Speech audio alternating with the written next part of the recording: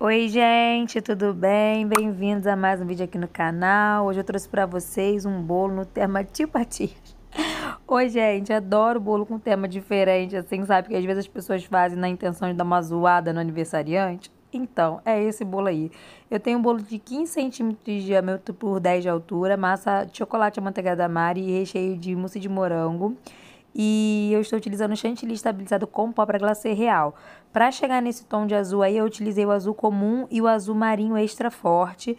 Fui depositando todo o chantilly aí com a minha manga de confeitar. Gente, eu gosto de depositar com a manga de confeitar, mas se você quiser depositar com a espátula, também fica à vontade, tá? Faz aquilo que você julgar aí melhor para você na hora de fazer o seu trabalho. Não esquece de se inscrever aqui no canal, deixar o seu like, ativar o sininho de notificações para não perder nada. Não esquece também que aqui embaixo no box de informações tem o link para você fazer a compra do nosso curso online, que está com 50% de desconto. E também o WhatsApp para o curso presencial que acontece em Duque de Caxias, Rio de Janeiro. Gente, o nosso curso é muito completo, tá?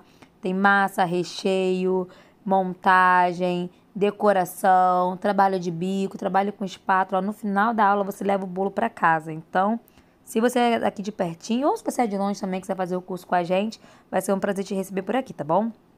Gente, então vamos lá. Depois que eu alisei o topo do meu bolo e a lateral, eu venho com a minha espátula de textura, fazendo uma textura aí para deixar o nosso bolo bem bonito, bem lindo. E depois eu vou fazer as quinas. Caso você queira deixar as quinas imperfeitas, você pode, mas eu preferi nesse caso aí fazer as quinas do meu bolo, tá? Quina, gente, é aquele tipo de trabalho que a gente faz com bastante zelo, bastante cuidado, bastante calma, sempre lembrando que eu passo a minha espátula na quina, retiro o excesso no bol e limpo no paninho úmido a minha espátula, tá? Eu não vou com a espátula suja de chantilly de volta não, porque senão eu acabo estragando a minha quina ao invés de deixar ela bem linda. Faço meu aspiral e agora eu vou pintar o rodapé. Na minha bombinha eu tenho álcool de cereais e pó dourado. E eu vou pintar assim, só um pouquinho, sabe, do meu rodapé. Não vou subir muito não. Vou deixar só aí um pouquinho menos que a metade do meu rodapé pintadinho de dourado. Gente, eu amo azul com dourado, azul marinho com dourado, eu acho que fica lindo. Vocês gostam também? Deixa pra mim aqui nos comentários se vocês gostam dessa mistura. Eu particularmente gosto bastante, acho que fica lindo. Aquela limpezinha básica, né, gente, que a gente não pode esquecer. Eu vou deixar passando um pouquinho aí pra vocês, como vocês estão vendo, bem devagarinho, para vocês verem que eu limpo o meu rodapé devagar. Com calma, vocês viram que é bem com calminha, sem pressa, sem correria, para ficar bem limpo e a gente não estragar o nosso trabalho.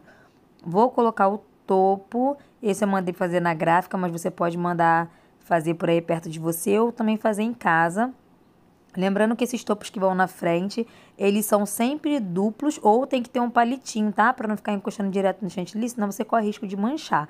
Principalmente se for um chantilly escuro. Ah, gente, fala sério.